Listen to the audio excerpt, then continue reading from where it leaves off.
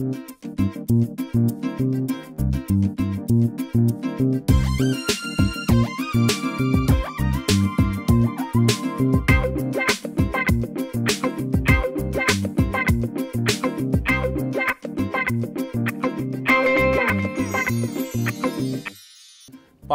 تحریک انصاف میں یوں تو بہت ساری خواتین ہیں لیکن چند خواتین ایسی ہیں جو اس جد و جہد میں عمران خان کے ساتھ پہلے دن سے تھی۔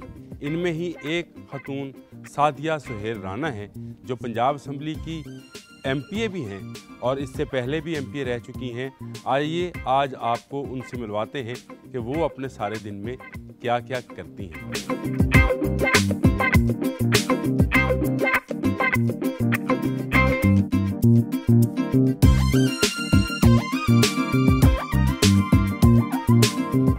سادیہ سیاست تو آپ کرتی ہیں کیا گھر کے کاموں پہ بھی توجہ دیتی ہیں گھر کے کاموں پہ توجہ تو دینی پڑتی ہے اس کے بغیر تو گھر نہیں چلتا لیکن پہلے میرا تو بہت زیادہ ٹائم میں گھر پہ کرتی تھی اس کی سجاوٹ یہ کوکنگ کرنا اور تمام چیزیں بہت زیادہ تھیں اب اس طرح تو نہیں دے پاتی یہ پاسبل نہیں ہے پریکٹیکلی کہ میں فل ٹائم سیاست بھی کروں اور فل ٹائم گھر کو بھی لیکن اب ٹائم تھوڑا ڈیوائڈ کرنا پڑتا ہے اور گھر کے کام کاج کی ذمہ داریاں ذرا ڈیوائڈڈ ہیں۔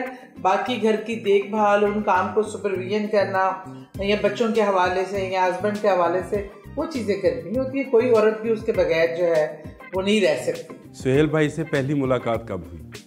سہیل سے پہلی ملاقات ایک بڑا عجیب سا واقعہ ہے۔ میرا پیپرز ابھی ہوئے تھے بی اے کے اور میں کچھ ٹائم کمپیوٹر پروگرامنگ کر رہی تھی۔ تو میں نے جاب کی تھی ٹیمپریری کمپیوٹر اپنی پروگرامنگ کے لیے۔ وہاں سہیل کا ان کے دوست کا آفس تھا کہ وہاں آئے۔ انہوں نے دیکھا اور ان کو میں پسند آ گئی۔ چلو بھائی پہلی نظر میں کیا دیکھا؟ بیسیکلی ان کو اس وقت ان کو تو پتہ نہیں لگا۔ میں آیا تھا اپنے ایک دوست ہیں ان کے آفس میں مال روڈ پہ۔ تو وہاں پر یہ بہت زیادہ مطلب کمپیوٹر میں کھوبی ہوئی تھی۔ تو مجھے تھوڑا سا ویٹ کرنا پڑا ریسیپشن پہ کیونکہ دوست بزی تھے۔ تو میں نے اور ان کی ڈیڈیکیشن کو دیکھا اور بس وہیں پہ ڈھیر ہو گیا۔ چل بھائی سعدیہ جو ہے عہدہ بھی ہے سیاست دان بھی ہیں۔ ڈر لگتا ہے ان سے؟ دیکھیے میں نے ان کو جس طرح انہوں نے مجھے پہلے ہی بتا دیا تھا تو میں نے بھی شادی کے پہلے ہی دن ان کو یہ بات کلیئر کر دی تھی۔ کہ میری کچھ ہیں عادتیں جس وجہ سے میں تھوڑا مجبور ہوں کیونکہ میں راجپوت ہوں۔ تو اگر آپ لڑیں گی تو خود ہی مان جائیے گا اگر میں لڑوں گا تو منا لینا۔ تو پھر جب لڑتے ہیں تو مناتا کون ہے؟ میری ڈیوٹی ہے بس اور اگر میں ہی ناراض ہوں میں چپ رہوں گی۔ کوئی فائدہ نہیں کوئی رسپانس نہیں میں جاگ رہی ہوں یہ سو رہے ہیں۔ تو پھر تنگ آگے میں خود ہی بات چیت شروع کر دیتی ہوں وہ کہتے ہیں راجپوت ہوں میں تمہیں پتا ہے کہ میری عزت پہ بات آئے گی۔ جھکوں گا۔ میں کہ چلو کوئی بات نہیں۔ جھکنے والا جو ہے نا وہ پھلدار درخت ہوتا ہے۔ کچن میں ہمارے لیے ناشتہ تیار کیا۔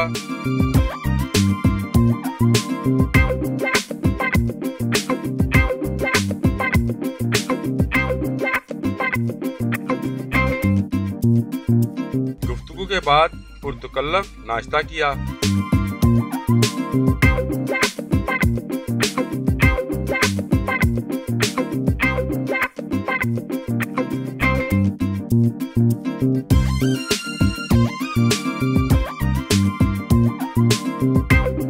ایل ڈی اے میں آئی ٹی ڈپارٹمنٹ کے حوالے سے میٹنگ کے لیے روانہ ہوئی۔ سادیا سفر میں ہی پوچھ لیتے ہیں آپ سے، یہ بتائیے زندگی کا سفر کیسے گزرا؟ زندگی کا عامر میرا سفر بڑا انیویل ہے۔ عام لوگوں سے بہت ہٹ کے ہے لوگوں کے بچپن کی یادیں ہوتی ہیں، کھیل کود کی، شرارتوں کی۔ میری یادیں کچھ اتنی خوبصورت نہیں ہیں۔ میرا ایکچولی بچپن میں ہی اپینڈکس کا ایشو تو لوگوں کو عام طور پہ ہوتا ہی ہے۔ کچھ ایسا ہوا کہ وہ اپینڈکس اسٹمک میں ہی پھٹ گئی اور سیونٹی ٹو آورس ڈائگنوز ہی نہیں ہو سکی۔ کسی ڈاکٹر کی غفلت سے۔ اور اتنا کیس خراب ہو گیا کہ دو ہاسپٹلس نے مجھے ڈیتھ ڈکلیئر کر دیا۔ یعنی آپ مر گئی مر گئی میں باقاعدہ طور پہ۔ اور دو ہاسپٹلس نے اس پہ کہا کہ یہ چیز نو مور اور میرے والد صاحب کیونکہ کراچی تھے ان دنوں اور وہ ان کے آنے کا انتظار تھا، تو گھر پہ جیسے کوئی مر جاتا ہے تو تیاریاں شروع ہو جاتی ہیں، دفنانے وغیرہ کی اور مہمان آنے شروع ہو جاتے ہیں۔ اس طرح کا سناریو تھا کہ سب سمجھ بیٹھے تھے کہ یہ گئی۔ میرے والد صاحب آئے اور مجھے چرپائی سے اٹھایا اور لے کے بھاگ گئے۔ سب سمجھ رہے ہیں کہ بیٹی کی خبر سے اس کو اتنا ذہنی صدمہ پہنچا ہے، جس کی وجہ سے وہ اس طرح کی حرکتیں کر رہے ہیں۔ وہ مجھے لے کے ایک ہاسپٹل ہوتا تھا، ابھی بھی ہے یو سی ایچ پر اب اتنی اچھی کنڈیشن میں نہیں ہے۔ بہت اچھا ہاسپٹل تھا یہ۔ اور اس میں جو ہے، کیا ڈاکٹر بینجمن ایک امریکن ڈاکٹر ہوا کرتے تھے۔ ان کو دکھایا میرے والد صاحب نے۔ انہوں نے کہا، انہوں نے بھی پہلے کہا کہ نہیں، یہ نہیں ہے، زندہ، یہ انتقال کر چکی ہے۔ پر میرے والد نے انسسٹ کیا کہ نہیں، یہ زندہ ہے، آپ دوبارہ دیکھیں۔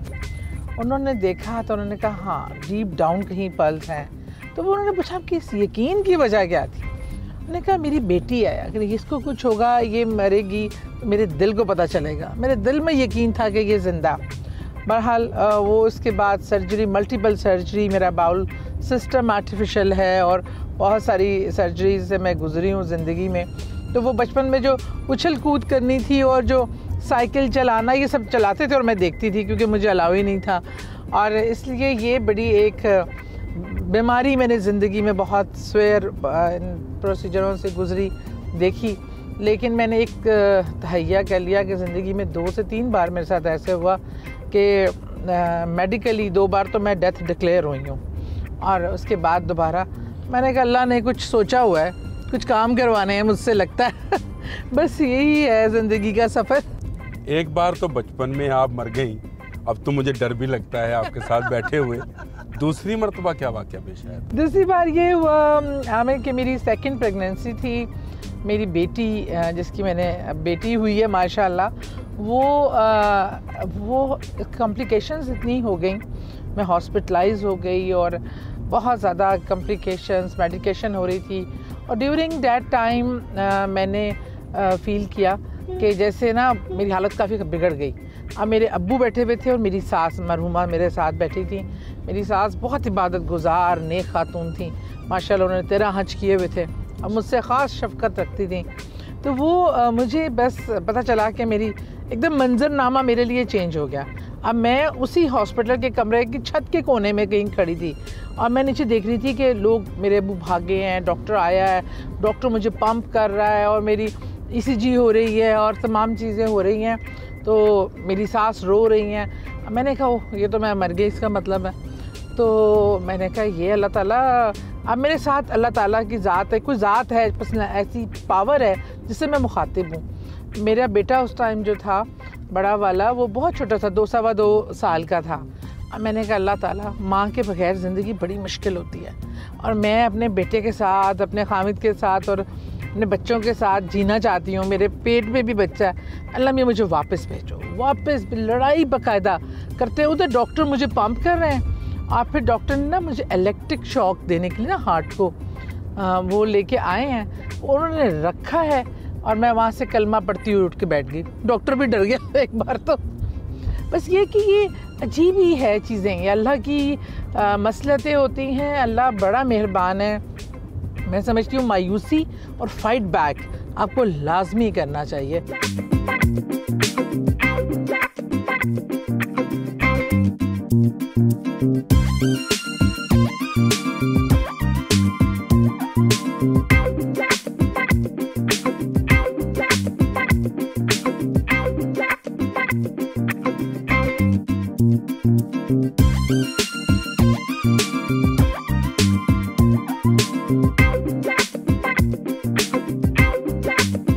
ایل ڈی اے میں آئی ٹی کے حوالے سے میٹنگ میں شرکت کی۔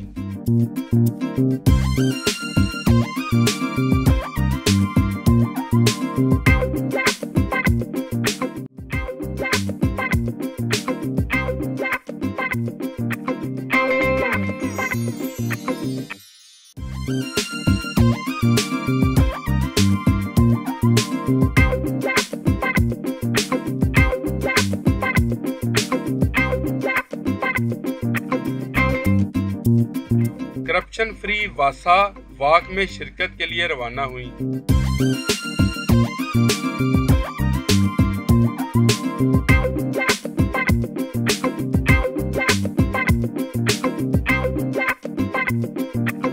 آپ کی کہانی تو بہت دلچسپ ہے کہاں مرنا کہاں جینا اور پھر ایسا جینا کہ لوگ جانتے ہیں سادیا سہیل رانا کو سادیا ایجوکیشن کے حوالے سے کچھ بتائیں دیکھیے جی اسکولنگ میری ایف جی ماڈل آرمی کا اسکول تھا اور وہاں سے کی۔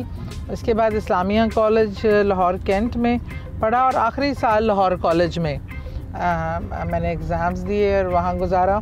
بہرحال، میرا یہ رہا کہ ایک جو یہ کانسیپٹ ہے نا، ہمارا سیاست میں خاص طور پہ کہ خاص اداروں کے پڑھے ہوئے لوگ، ایک بہت آئے فائے میں سمجھتی ہوں جو یہ ہمارا مجھے میں جو میرے اسکول کی ایجوکیشن نے بینیفٹ دیا، وہ سب سے بڑا یہ تھا ڈسپلن ہونا، زندگی میں محنت کرنا اور کسی بھی کام کو چھوٹا۔ ایک قسم کا آرمی ٹریننگ ہماری ٹائپ تھی اور ٹیچرز بہت بہترین ملے۔ اور مجھے میرے ابو نے ہمیشہ ایک بات بولی ہے کہ بیٹا، بادب با مراد، بے ادب بے مراد اور استادوں کی عزت۔ میں نے زندگی میں عامر یہ دیکھا ہے کہ جو لوگ اپنے والدین اور اساتذہ اکرام کی رسپیکٹ کرتے ہیں نا وہ ان کو اللہ تعالیٰ عزت دیتا ہی دیتا آپ جو مرضی کر لیں۔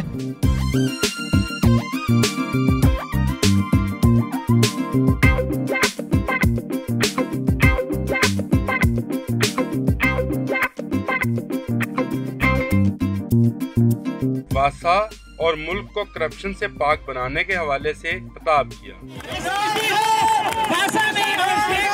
جو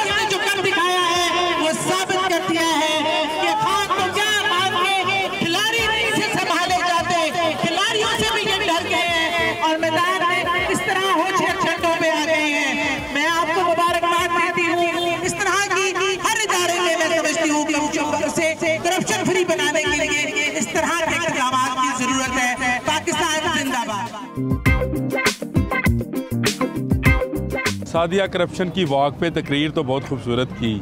کیا پاکستان سے کرپشن ختم ہو گئی؟ انشاءاللہ ہو نہیں گئی لیکن ہونے کی طرف کا سفر شروع ہو چکا ہے۔ اب یہ دیکھ لیں اب اداروں میں بھی ہمارا جو لوگ لگے ہیں وہ اس مشن پہ ہیں کہ کرپشن فری بنانا ہے۔ اور جب اوپر آپ کی قیادت جو ہے وہ اتنی اسٹرانگ ہو اور وہ کرپشن نہ کرتی ہو نہ ہونے دیتی ہو وہ نیچے تک خود بخود ٹریگر ڈاؤن ہوتا۔ ہے لیکن کرپشن کی داستانیں تو آج بھی ہیں۔ دستانے آج ہیں، لیکن کتنا ٹائم رہیں گے؟ کچھ عرصے کی بات ہے۔ ابھی تو ہمیں آٹھ مہینے ہوئے ہیں اور محکموں میں، اداروں میں ترتلی مچ گئی ہے۔ انشاءاللہ آپ دیکھیے گا، خان صاحب اپنے ٹینور کے اندر ہی پاکستان کو کرپشن فری پاکستان بنا کے چھوڑیں گے۔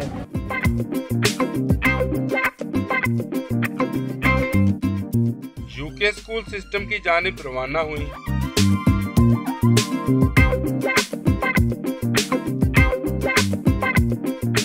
ویسے تو آپ بہت شریر نظر آتی ہیں۔ بچپن کی کوئی ایسی شرارت جو آج تک یاد ہو؟ بچپن میں شرارتیں تو ہم بہت کیا کرتے تھے۔ میرا ایک کزن ہے پھپھوزاد بھائی منصور اعظم خان۔ اچھا وہ ذرا ڈرپوک سا تھا۔ اور میں اس کو نا ڈرایا کرتی تھی۔ وہ ہم لوگ ہمارے گھر ٹھہرے ہوئے تھے۔ تو میں نے اس کو نا کوئی شرارت میں کوئی چیز اس کا مکہ سا لگا، مجھے ہم آپس میں لڑ رہے تھے۔ تو میں نے سے شو کیا جیسے میں بے ہوش ہو گئی ہوں۔ اب اس بیچارے کی تو جان نکل گئی۔ اب وہ بہرحال آنٹی وغیرہ نے مجھے پانی شانی پلایا۔ میں بالکل ٹھیک تھی۔ میں پریٹینڈ کر رہی تھی اس کو ڈرانے کے لیے۔ اس کے بعد جو ہے نا، میں نے آنٹی سے کہا، مجھے اس کے ساتھ تھوڑا سا ڈرامہ کرنے دیں۔ تو وہ کہتا، اب آنٹی نے کہا اچھا چلو ٹھیک ہے، کر لو۔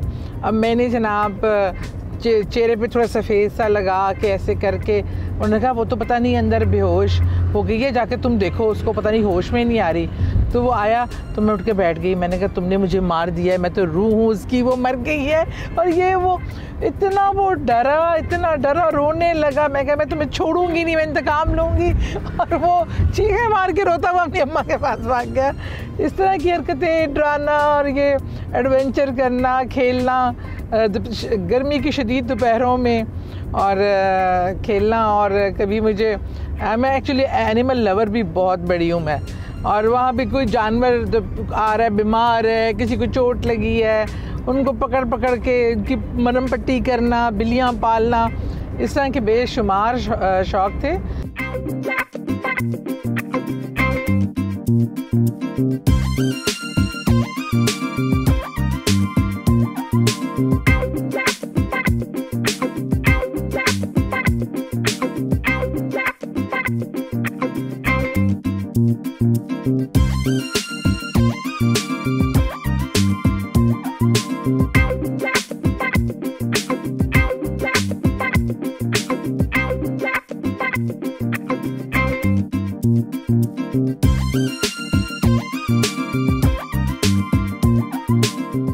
کے اسکول سسٹم کے زیر اہتمام چائے میں بطور اعزازی چیئر پرسن شرکت کی۔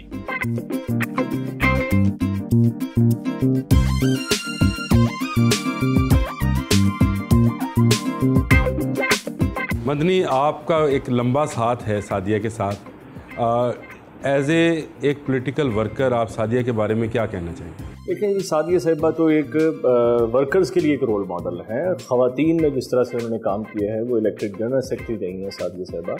اور جس طرح سے وہ انتھک خاتون ہیں، پچھلے پانچ سال میں ہماری چند اگر بیسٹ پرفارمرز جو ہیں ایم پی ایز دیکھا جائے، جو اپوزیشن میں بڑا دبنگ رول جنہوں نے ادا کیا اور ورکرز کے ساتھ کھڑی رہیں تھرو تھک اینڈ تھن تو سعدیہ سہیل میں سے برائٹسٹ نام ہے اور ابھی بھی جو ہے، میں سمجھتا ہوں کہ پارٹی کو مزید ان کو کوئی اہم ذمہ داری مزید دینی چاہیے منسٹری وغیرہ دینی چاہیے کیونکہ یہ بڑی مطلب رول ماڈل ہیں اکثر ورکرز کے لیے۔ سعدیہ اپوزیشن ایجوکیشن کے دور میں ایجوکیشن کے حوالے سے آپ نے بہت ساری قراردادیں جمع کرائی۔ اب آپ اس یو کے اسکولس کی چیئر پرسن بھی ہیں۔ تو کب تک یکساں نظام تعلیم رائج ہوگا؟ میرا تعلیم کے حوالے سے پچھلے ٹینیور میں بھی کافی کام تھا۔ ابھی بھی جو یکساں ہم نصاب کی بات کرتے ہیں، اس پہ بہت تیزی سے کام ہو رہا ہے۔ ایجوکیشن پالیسی پہ ایجوکیشن ریفارمس پہ۔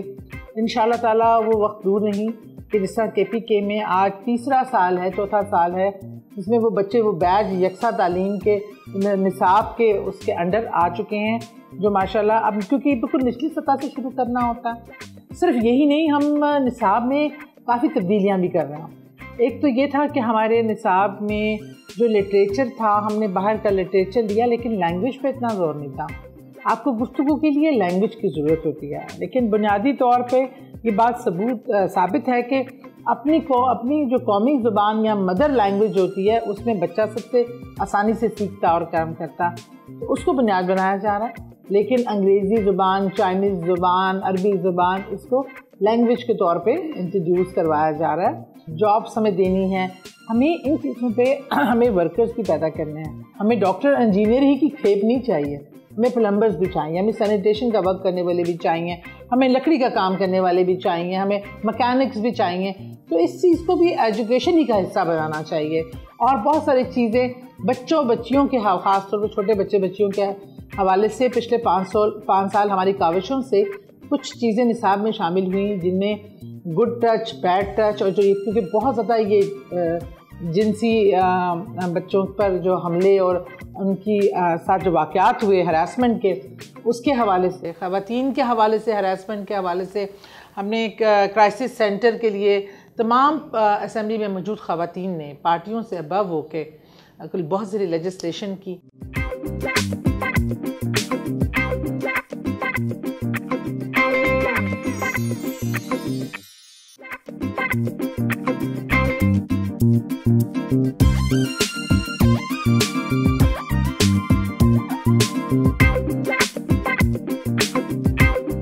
پرورش فاؤنڈیشن کی جانب سے منعقدہ تقریب میں شرکت کے لیے روانہ ہوئے۔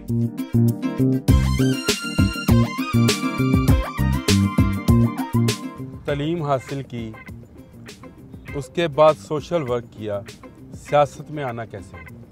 سیاست میں بھی ایک عجیبی اور حسین اتفاق تھا کہ میں شادی کے بعد دبئی شفٹ ہو گئی تھی اور دبئی سے جب میں دو ہزار تین میں واپس پاکستان آئی تو یہ میں نے ایک گھر جہاں لیا، وہاں ایک کچھ عرصے بعد پتہ چلا کہ ایک خان صاحب ممبرشپ کمپین کر رہے ہیں اور چھوٹا سا جلسہ جو ہے، وہ خطاب کرنے خود تشریف لا رہے ہیں۔ پچیس لوگوں کا وہ ٹوٹل جلسہ تھا، جس میں ممبرشپ کمپین ہوئی ہے اور دوسرا خان صاحب نے جو ہے، وہ خطاب کیا۔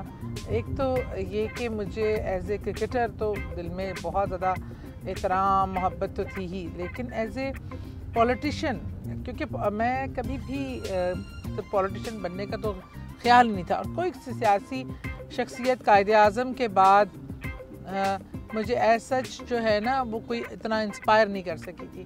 لیکن خان صاحب کی اس گفتگو کے بعد، خان صاحب کوئی اتنی آج جیسے آج تقریریں کرتے، ویسی نہیں اتنی اچھی کیا کرتے تھے۔ سادہ سے الفاظ، جس طرح بولا کرتے تھے، لیکن ان میں جو خلوص تھا دل سے وہ نکل رہی تھی اور پاکستان کی محبت ان میں ٹوٹ ٹوٹ کے بھری ہوئی تھی۔ تو وہی چیز مجھے متاثر کی میں نے ممبرشپ کر لی۔ اگلے دن مجھے پارٹی آفس سے فون آ گیا کہ آپ ہمارے لیے کام کریں گی۔ تو کیونکہ لوگ ڈھونڈ رہے تھے وہ خواتین خاص طور پہ کافی کم تھیں۔ تو میں نے پھر جوائن کی پارٹی سیاست میں دوست تو ہوتے ہیں دشمن بھی ہوتے ہیں۔ پارٹی میں کون دشمن ہے؟ دشمن تو میں نے خیر کبھی کسی کو سمجھا نہیں۔ ہاں کیونکہ جب الیکشن ہوئے تو گروپنگ ہو گئی۔ اور گروپنگ میں ایک علیم خان صاحب کا لاہور میں گروپ تھا، ایک ہمارا گروپ تھا۔ اچھا علیم خان صاحب کے ساتھ میرا بڑا مزے کا ایک ریلیشن ہے۔ وہ مجھے کہتے ہیں، وہ دشمن کیسی ہو؟ اور میں ان کو کہتی ہوں، دشمن کیسے ہیں آپ؟ لیکن اب ہماری ویسے دوستی بھی بہت اچھی ہے۔ ایک پارٹی کی لیول تک گروپ کے لیول تک تو ہم ڈفرینٹ گروپوں میں ہوتے ہیں، اختلافات بھی ہوتے ہیں، لیکن میں نے کبھی بھی ان چیزوں کو ذاتی بنانے کی کوشش نہیں گئی اور میری، ان کے ساتھ بھی کام کیا لاہور میں، کیونکہ وہ صدر تھے لاہور کے اور اس کے بعد سینٹر پنجاب کے، تو کھل کے کام کیا۔ اور میں اب سب، اب تو ہم دونوں کی بہت اچھی دوستی ہو گئی ہے۔ اب ہماری لڑائی بھی ہم نے ختم کر دی ہے۔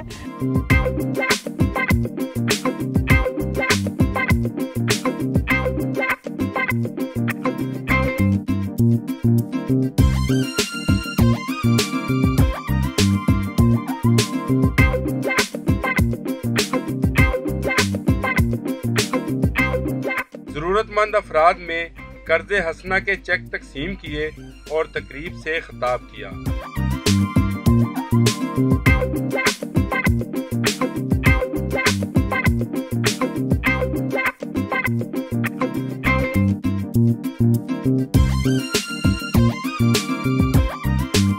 اپنی نواسی کو دیکھنے، اپنی بیٹی کے گھر کی طرف روانہ ہوئی۔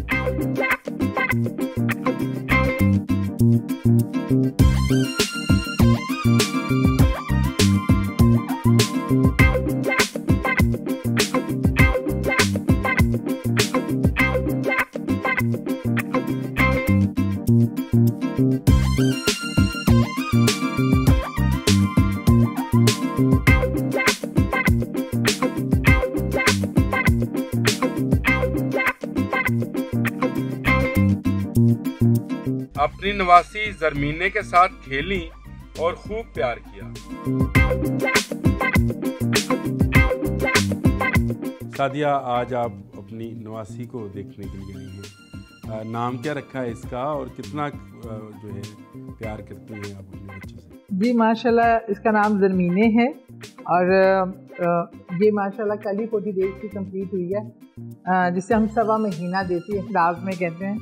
اور میں سمجھتی ہوں، ہم نے سنا تھا کہ اصل سے سوٹ پیارا ہوتا ہے اور یہ باتیں، لیکن پریکٹیکلی جب یہ ہوتا ہے تو یہ it's a very beautiful feeling اور میں سمجھتی ہوں کہ اب جو ہے نا، یہ پہلے اولاد نمبر ون پہ ہوتی ہے، لیکن اب اولاد نمبر ٹو پہ آ گئی ہے۔ سارے رشتے نمبر ٹو پہ آ گئے اور یہ نمبر ون پہ چلی گئی ہے۔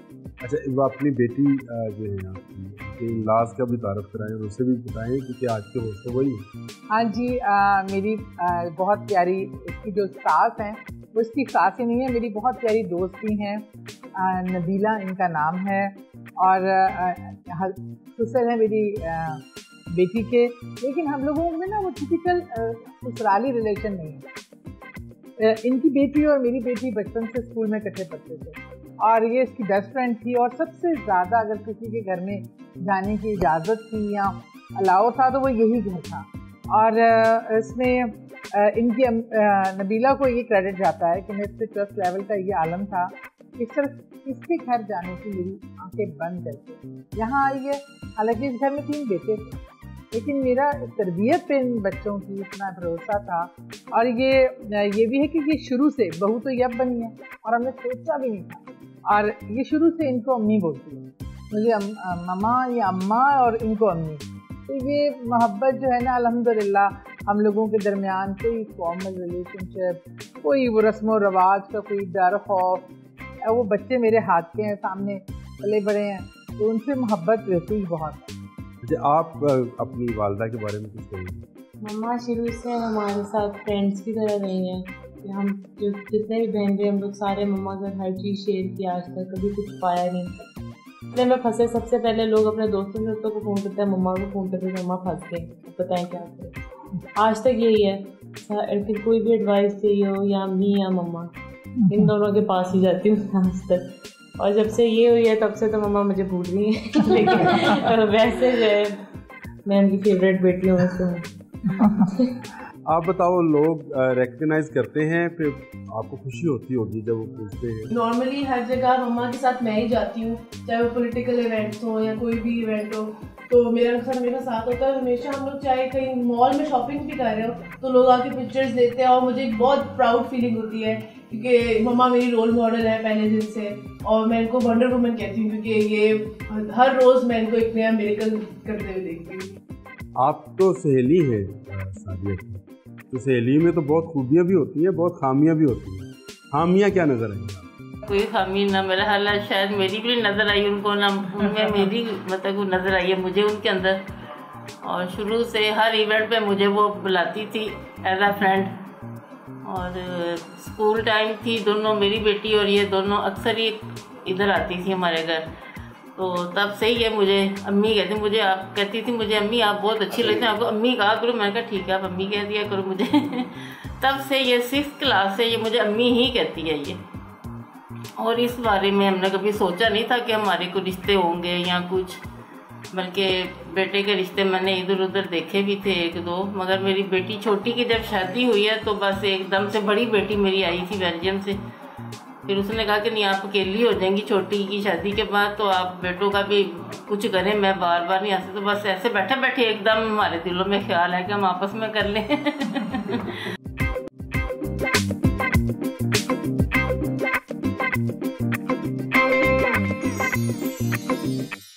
سادیہ صبح سے شام ہو گئی۔ آپ کے ساتھ مزہ بھی بہت آیا، لیکن چلتے چلتے پوچھنا چاہتے ہیں کہ پی ٹی آئی کی حکومت سے مطمئن ہیں آپ؟ جی ایک تو بہت اچھا دن گزرا۔ آپ کا بھی بہت شکریہ، چینل کا بھی۔ بہت پتہ ہی نہیں چلا آج کا دن کہاں گیا۔ آپ نے ماشاء اللہ ساری ایکٹیویٹی میں ساتھ دیا، جہاں کے جہاں تک بات ہے، پی ٹی آئی کی گورنمنٹ سے مطمئن ہونے کی۔ میں یقین مانیے اس سے پہلے کسی گورنمنٹ سے اس طرح مطمئن نہیں تھی جتنا میں پی ٹی آئی کی گورنمنٹ سے مطمئن ہوں۔ اور اس اطمینان کی سب سے بڑی وجہ خود وزیر اعظم عمران خان ہے۔ اور ان کا ویژن ہے اور ان کی ارادے کی مضبوطی اب وہ جو کہتے ہیں، کر کے دکھاتے ہیں۔ اور سولہ سال کی میری ان سے رفاقت ہے۔ میں جانتی ہوں کہ وہ جو کہہ کے، کر کے دکھانے کی ان میں بالکل ابیلٹی ہے اور ان کی ٹیم کی حیثیت سے میں جانتی ہوں وہ کون سے کھلاڑی کو کب کھلانا ہے، کہاں کھلانا ہے۔ ان کے ڈیسیجنس پہ مجھ پہ، مجھے اعتبار ہے۔ گھر سے باہر جاتی ہیں تو لوگ مہنگائی کا گلا کرتے ہیں۔ جی میں نے تو ایک رکشے والے سے اتفاقاً بات ہوئی، میں نے پوچھا، میں نے اس کو اپنی آئیڈینٹی وہ مجھے نہیں جانتا، پہچانتا تھا، تو میں نے اس کو کہا کہ بھئی، آپ نے کس کو ووٹ دیا؟ اس نے کہا عمران خان کو۔ تو میں نے کہا، آپ کے عمران خان نے تو بڑی کر دی مہنگائی۔ تو اس نے کہا، میں کہا، کہتا مہنگائی تو پہلے بھی ہوتی تھی، لیکن روتے اس لیے تھے کہ وہ ان کی تجوریوں میں پیسہ جاتا تھا۔ اب مجھے پتہ ہے، مہنگائی ہے۔ لیکن اب جو پیسہ ہے، وہ میرے بچوں کے کام آئے گا، میرے ملک کے کام آئے گا۔ کسی کی جیب میں نہیں جائے گا۔ جہاں تک کہ کچھ لوگ شکوے بھی کرتے ہیں، اس میں کوئی دوسری رائے نہیں۔ دیکھیے، عام آدمی کے لیے کیا پوزیشن ہے آپ کی اکانومی کی؟ کیا آپ کے گرافس ہیں؟ کیا آپ کی پالیسیز ہے؟ یہ چیزیں میٹر نہیں کرتی۔ اس کے لیے میٹر کرتی ہیں کہ تین وقت اس کا بچہ پیٹ بھر کے کھانا کھائے، اسکولوں میں جا سکے، ہاسپٹلوں میں علاج ہو سکے اور وہ ایک زندگی نارمل زندگی گزار سکے۔ اس میں کوئی شک نہیں کہ اس وقت حالات مشکل ہیں ٹف ہیں اور مہنگائی کی وجہ سے۔ لیکن ملک جس حال میں ہمیں ملا، اس میں تھوڑا ٹف ٹائم جب قوموں کو ترقی کی طرف لے جانا ہو، ملک کو بلندی کی طرف اور قرضوں سے نجات چاہیے ہو، اور مستقل ٹریٹمنٹ چاہیے ہو تو پھر اس طرح کے مسائل آتے رہتے ہیں۔ لیکن بہادر اور غیرت مند قومیں خوش دلی سے، کیونکہ پتہ ہے ان کو اس میں کوئی کرپشن نہیں ہوگی اور پیسہ کسی کے اکاؤنٹس نہیں بڑھیں گے اور کوئی نو ملود بچہ پیدا ہوتا ہی ارب پتی نہیں ہوگا کسی کی بار جدادیں نہیں بنیں گی۔ جو یہاں آج مشکل کرائسس ہیں، کاٹ کے انشاءاللہ بہت اچھا وقت ہمارے لیے منتظر ہے۔ قدیہ سنا ہے کہ آپ کو کچھ جن گھروں پہ اثرات ہوں پتہ چل جاتا ہے کچھ پرسرار چیزیں نظر آتی ہیں۔ یہ معاملہ کیا ہے؟ یہ مخبریاں بڑی کسی نے صحیح کی ہیں۔ اصل میں یہ چیزیں شاید اسپریچولی چیزیں ہوتی ہیں۔ اللہ تعالیٰ نے ایک انٹرنل ویژن ہوتا ہے وہ جو سب کو دیا ہوتا ہے۔ لیکن کچھ لوگوں کے پاس یہ ویژن ذرا زیادہ اوپن ہوتا۔ ہے اب یہ اللہ کی گاڈ گیون ہے اس میں میرا تو کوئی کمال نہیں ہے۔ کہ اگر کوئی ایسی چیزیں غیر مرئی قوت ہیں جیسے انسان مخلوق ہے اس طرح اللہ کی اور بہت سی مخلوقیات ہیں۔ یہ ہوتا ہے کہ جب کہیں ایسی مخلوق موجود ہو یا کچھ ہو، مجھے کچھ انڈیکیشن ہو جاتی ہیں جو قریبی رشتہ دار، بہن، بھائی جو جانتے ہیں وہ گھر اکثر مجھے دکھا کے لیتے ہیں اگر نیا لینا ہو، یا پرانا ہو، اس پہ کوئی مسئلہ آ رہا ہو، تو اس کو گھما کے اسے کہتے ہیں نا گوس بسٹر۔ بس تھوڑا تھوڑا وہ کوالٹی ہے بٹ یہ سب اللہ کی طرف سے کوئی میرا، نہ میں کوئی چلے کاٹتی ہوں، نہ میں کوئی وظیفے کرتی ہوں۔ میں تو بڑی بری سی ہے اتنا ریگولر بھی نہیں ہے ہم چیزوں پہ جتنا ہونا چاہیے۔ بہرحال میرے دادی میں خصوصیات تھیں۔ اور وہ بہت دیندار عبادت گزار تھیں۔ کہتے ہیں کہ وہ کوئی بزرگ ایسا ہو تو اپنی فیملی میں کسی کو ٹرانسفر ہوتی ہیں یا پھر شاید میں ایک وہ موت اور زندگی کے جو معاملات سے گزری، اس میں کہتے ہیں روح ایک بار جب نکل کے آتی ہے تو روح انٹرنل ویژن آپ کا بڑھ جاتا ہے۔ تو وہ شاید اس کی وجہ یہ ہے کہ اللہ ہی جانتا ہے اللہ کے رموز ہیں۔ تو بنی گالا میں تو کوئی چیزیں نہیں دیکھی آپ نے؟ بنی گالا میں میں نے ایک ہی چیز دیکھی ہے سب سے شاندار۔ اور یہ دیکھا ہے کہ انشاءاللہ اللہ اس کے ہاتھوں اس ملک کو ترقی پہ گامزن کرے گا اور اس قوم کی تقدیر بدلے گا۔ آپ ہاتھ بھی دیکھتی ہیں۔ جی ہاتھ دکھاتی نہیں ہوں۔ تو میں کرے دیکھتی میرا ہاتھ دیکھ کے بتائیں میری دوسری شادی کب ہوگی؟ یہ بھابھی آپ دیکھ لیں یہ ہاتھ دیکھ کر میں ان کو کیا بتاؤں؟ یہ تو آپ ہی بتائیں گے ان کو گھر جا کے کہ ان کے ساتھ کیا ہونے والا ہے۔ آپ بھابھی پریشان نہ ہو یہ ایک شادی میں ہی ان کی ہمت نہیں ہے۔ کرنے کی کوئی دوسری شادی کی لائن نہیں ہے۔ چلے آپ نے آپ نے تو امیدیں کیا دلانی تھی۔ مایوس کیا۔ اسی کے ساتھ آپ کو اللہ حافظ کہنے کا وقت بھی ہو گیا۔ بہت شکریہ بہت شکریہ آپ کا بہت بہت شکریہ۔ آپ کا بھی آپ کی فیملی کا بھی جنہوں نے سارا وقت نکالا۔ اگلے پروگرام تک کے لیے اللہ حافظ۔